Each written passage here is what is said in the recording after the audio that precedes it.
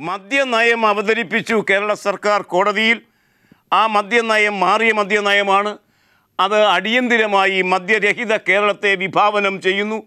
മദ്യനയം ഒക്കെ നല്ല കാര്യം. പക്ഷേ നയം മാറണമെങ്കിൽ നിയമ ഭേദഗതി വേണം എന്ന് ഹൈക്കോടതി പറഞ്ഞിരിക്കുന്ന കാര്യമാണ് മദ്യവുമായി ബന്ധിപ്പിച്ച്.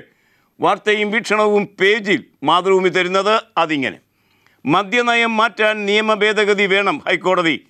അതേ സംബന്ധിച്ച അപ്പീലുകൾ സെപ്റ്റംബർ പതിനേഴിലേക്ക് മാറ്റി. സമ്പൂർണ നിരോധനം ലക്ഷ്യമാക്കുന്ന പുതുക്കിയ മദ്യനയം നടപ്പാക്കാൻ സർക്കാരിന്റെ പുതിയ ഉത്തരവിന് അനുസൃതമായ നിയമവും ചട്ടവും തയ്യാറാക്കണമെന്ന് ഹൈക്കോടതി ഡിവിഷൻ ബെഞ്ച് നിർദ്ദേശിച്ചു. ഇതിന് സമയം നൽകിക്കൊണ്ട് ഇത് സംബന്ധിച്ച അപ്പീലുകൾ സെപ്റ്റംബർ പതിനേഴിലേക്ക് മാറ്റി. പൂട്ടിയ നാനൂറ്റി പതിനെട്ട് ബാറുകൾ തുറക്കാൻ അനുമതി തേടുന്ന ബാറുകളുടെ അപ്പീൽ ബാറുടമകളുടെ അപ്പീലുകളിൽ സർക്കാരിന്റെ വിശദീകരണം പരിഗണിച്ചാണ് justice Thottathil B Radhakrishnan justice P B Suresh Kumar ഉൾപ്പെടെ ഡിവിഷൻ ബെഞ്ചിന്റെ ഈ നിർദ്ദേശം എന്ന് ഈ വാർത്ത നമ്മോട് പറയുന്നു. മദ്യനയത്തിലെ വ്യത്യസ്തതകൾ ഭിന്നതകൾ സംഘർഷങ്ങൾ വിവാദങ്ങൾ ഒക്കെ തുടരുമ്പോൾ സത്യത്തിൽ കുഴിച്ചു മൂടപ്പെട്ടു പോയ ഒരു കാര്യം കോൺഗ്രസിൽ അതെന്താണ്? കോൺഗ്രസിന്റെ പുനഃസംഘടനയാണ്. അത് വളരെ പെട്ടെന്ന് തീരേണ്ടതായിരുന്നു. ഏതായാലും അത് നീണ്ടു നീണ്ടു പോകുന്നു. കാരണം ബാറിൽ തട്ടി കോൺഗ്രസ് പുനഃസംഘടന നീളുന്നു എന്നാണ് ആർ കിരൺ ബാബു കേരള കൗമുദി കാലികം പേജിൽ അതേ സംബന്ധിച്ച് റിപ്പോർട്ട് തരുന്നത്. കാണുക. ഈ മാസം മുപ്പതിന് പൂർത്തിയാക്കുമെന്ന് പ്രഖ്യാപിച്ച കോൺഗ്രസിലെ താഴെത്തട്ടിലെ പുനഃസംഘടന ബാർ തർക്കത്തിൽ തട്ടി നീളുന്നു. സംഘടനാ തെരഞ്ഞെടുപ്പിനെതിരായ നിലപാടില്ലെങ്കിലും ബൂത്ത് തെരഞ്ഞെടുപ്പ് വിജയകരമായി നടത്താൻ കാണിച്ച ഉത്സാഹം പിന്നീട് ഇരു ഗ്രൂപ്പുകളും കാണിക്കാത്തതാണ് മെല്ലേപ്പോക്കിനുള്ള കാരണം. വി എം സുധീരൻ തന്റെ സമസ്ത ആധിപത്യം പ്രഖ്യാപിക്കാൻ ഇടയുണ്ടാകാമായിരുന്ന ആ പുനഃസംഘടന ബാർ എന്ന വിഷയത്തിൽ തട്ടി മറഞ്ഞു പോകുന്നു ഇല്ലാതാകുന്നു എന്നാണ് ഈ വാർത്തയിൽ കേരള കൗമുദി നമ്മോട് പറയുന്നത്. പാകിസ്ഥാനുമായി നല്ല ബന്ധമുണ്ടാക്കുമെന്ന ആദ്യ പ്രത്യാശ മോദിയുടെ സത്യപ്രതിജ്ഞ ചടങ്ങ് തന്നെ നവാസ് ഷെരീഫ് പോലെ അതിൽ പങ്കെടുത്തിരുന്നു. അത് വ്യക്തമാക്കിയിരുന്നു. എന്നാൽ കാര്യങ്ങൾ അങ്ങനെയൊന്നുമല്ല നീങ്ങുന്നത്. പാകിസ്ഥാനുമായുള്ള ഇന്ത്യൻ അതിർത്തി സംഘർഷങ്ങളാൽ ഭരിതമാണ് കാണുക. ദേശാഭിമാനിയുടെ ഒന്നാമത്തെ വാർത്ത അതിർത്തി യുദ്ധ സമാനമെന്നാണ് ബി എസ് എഫിന്റെ മേധാവി പറയുന്നത്. ഇന്ത്യ ഫ്ലാഗ് മീറ്റിന് ചർച്ചയിലൂടെ പരിഹരിക്കണമെന്ന് ബാൻ കി മൂൺ ഐക്യരാഷ്ട്രസഭയുടെ മേധാവിയും പറഞ്ഞിരിക്കുന്നു. ആ വാർത്തയുടെ വിശദാംശങ്ങൾ സചിത്രമായി തരുന്നു ദേശാഭിമാനി ഇങ്ങനെ. ആയിരത്തി തൊള്ളായിരത്തി എഴുപത്തിയൊന്ന് യുദ്ധകാലത്തിന് ശേഷം ഇന്ത്യൻ പോസ്റ്റുകൾക്ക് നേരെ പാകിസ്ഥാൻ നടത്തുന്ന ശക്തമായ വെടിനിർത്തൽ കരാർ ലംഘനമാണ് കഴിഞ്ഞ നാൽപ്പത്തഞ്ച് ദിവസമായി നടക്കുന്നത് എന്ന് B S F director general D K Pathak Jammu കാശ്മീരിലെ പാകിസ്ഥാൻ ആക്രമണം ജമ്മു കാശ്മീരിലെ ജനവാസ കേന്ദ്രങ്ങളിൽ പോലും പാകിസ്ഥാൻ ആക്രമണം നടത്തുകയാണ്. പാക് ആക്രമണത്തെ ബി എസ് എഫ് ശക്തമായി ചെറുക്കുന്നുണ്ട്. എന്നാൽ പാക് ജനവാസ കേന്ദ്രങ്ങളിൽ ആക്രമണം നടത്തിയിട്ടില്ല.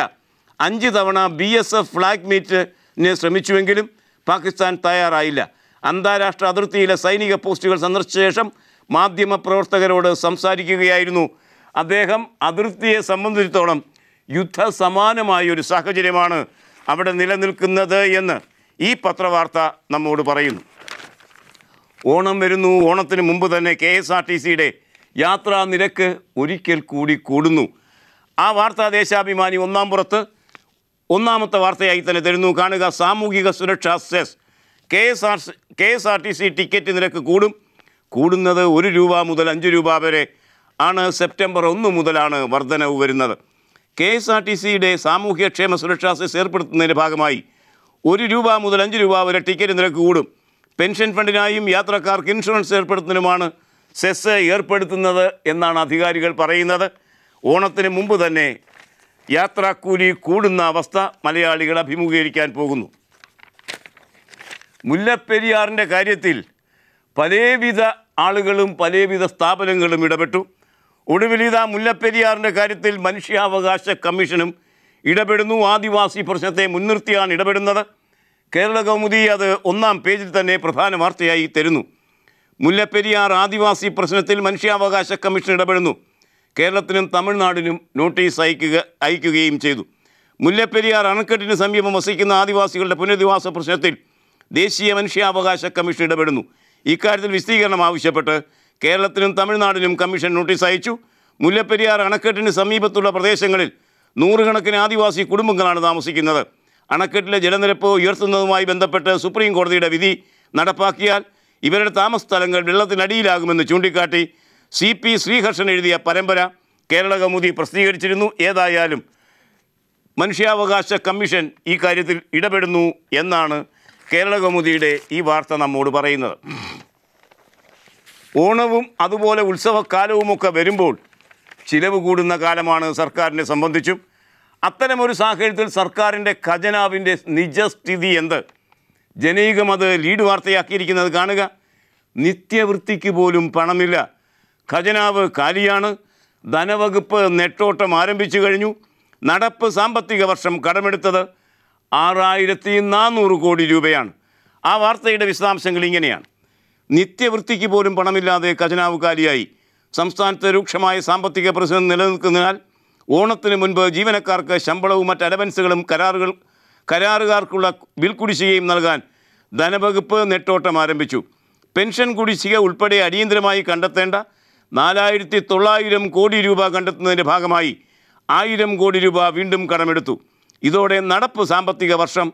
സർക്കാർ ജീവനക്കാരുടെ ശമ്പളത്തിനും പെൻഷനും വേണ്ടി സംസ്ഥാനം കടമെടുത്തത് ആറായിരത്തി നാനൂറ് കോടി രൂപയായി ഉയരുകയും ചെയ്തിരിക്കുന്നു എന്നാണ് ജനീകം അതിന്റെ ലീഡ് വാർത്തയിൽ സാമ്പത്തിക രംഗത്തെ സംബന്ധിച്ച് നമ്മോട് സംസാരിക്കുന്നത്. മന്ത്രി ആര്യാടൻ മുഹമ്മദ് എന്നൊരു മന്ത്രി നമുക്കുണ്ട്. അദ്ദേഹം അങ്ങനെയാണ് ഇടയ്ക്കിടയ്ക്ക് ഓരോ തമാശ പറഞ്ഞ് രസിച്ച് കളിച്ച് സുഖിച്ച് ജീവിക്കുന്ന മന്ത്രിയാണ്. രണ്ട് വകുപ്പുകളാണ് ആദ്യഘട്ടത്തിൽ ഏൽപ്പിച്ചു കൊടുത്തിരുന്നത്. കെ എസ് ഇ ബിയും കെ എസ് ആർ ടി സിയും രണ്ടിനെയും ഒരു വഴിക്കാക്കി ചിരിച്ചുകൊണ്ടിരിക്കുന്ന മന്ത്രി. അതാണ് ആര്യാടൻ മുഹമ്മദ്. അദ്ദേഹം വീണ്ടും തമാശ പൊട്ടിച്ചിരിക്കുന്നു. കാണുക. മലയാള മനോരമയുടെ വർത്തമാനം പുറത്ത്. സൗരോർജ സാധ്യത ഉപയോഗിച്ചില്ലെങ്കിൽ കേരളം ഇരുട്ടിലേക്ക് എന്ന തമാശയാണ് മന്ത്രി ആര്യാടൻ മുഹമ്മദ് പൊട്ടിച്ചിരിക്കുന്നത്. ഇത് കേട്ടാൽ മഹാവെളിച്ചത്തിലാണ് കേരളം ഇപ്പോൾ നിൽക്കുന്നത് എന്ന് തോന്നും. വാർത്തയുടെ വിശദാംശങ്ങൾ കാണുക. സൗരോർജ സാധ്യത പ്രയോജനപ്പെടുത്തിയില്ലെങ്കിൽ അഞ്ച് വർഷത്തിനുള്ളിൽ കേരളം ഇരുട്ടിലാകുമെന്ന് മന്ത്രി ആര്യാടൻ മുഹമ്മദ്. ജലവൈദ്യുതി പദ്ധതികൾക്ക് അനുമതി ലഭിക്കാതിരിക്കുന്ന സാഹചര്യത്തിൽ കേരളത്തിന് മുന്നിൽ മറ്റ് വഴികളൊന്നുമില്ല എന്നും അദ്ദേഹം പറഞ്ഞു. സൗരോർജമെന്ന് കേൾക്കുമ്പോൾ പെട്ടെന്ന് മലയാളികൾ ഓർക്കുന്നത് സരിതോർജം എന്ന വാക്കാണ് സരിതോർജത്തിന്റെ ഷോക്ക്. ചെറിയ തോതിലെങ്കിലും തട്ടിയ മന്ത്രിയാണ് ഇപ്പോൾ ഈ തമാശ പറഞ്ഞ് കൂടുതൽ കൂടുതൽ മലയാളികളെ ചിരിപ്പിക്കുന്നത്. ഒടുവിൽ അത് സംഭവിച്ചു. ഷീല ദീക്ഷിത് ഗവർണർ സ്ഥാനം രാജിവെച്ചു. മംഗളം എന്ന പത്രം അത് ഒന്നാം പേജിൽ സചിത്ര വാർത്തയായി തരുന്നു. ഇതി കർത്തവ്യത മൂടയായിരിക്കുന്ന. ഷീല ദീക്ഷിതിന്റെ ചിത്രവും വാർത്തയ്ക്കൊപ്പം മംഗളം തന്നിരിക്കുന്നു. കാണുക. നീണ്ട അഭ്യൂഹങ്ങൾക്കൊടുവിൽ കേരള ഗവർണർ സ്ഥാനത്ത് നിന്ന് ഷീല ദീക്ഷിത് രാജിവെച്ചു.